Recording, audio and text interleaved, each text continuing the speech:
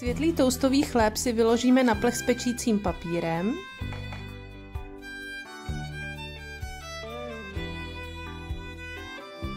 Chléb pomažeme sladkým kečupem.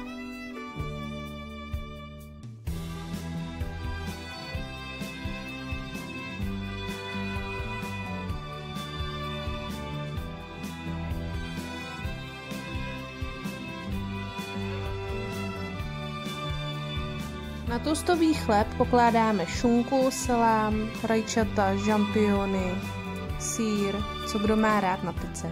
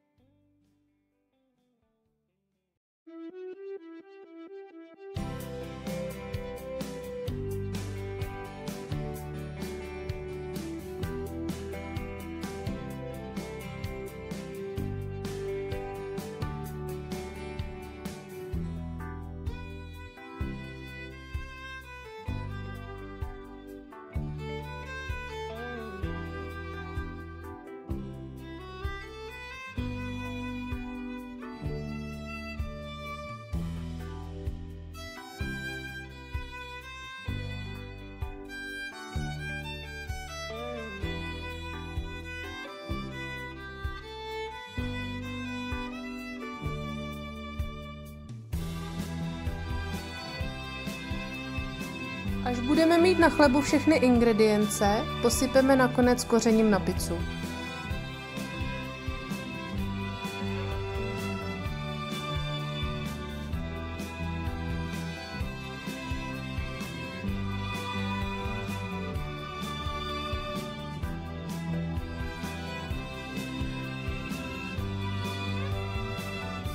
Takto připravené chleby dáme do trouby na 200 stupňů přibližně na 10 až 15 minut.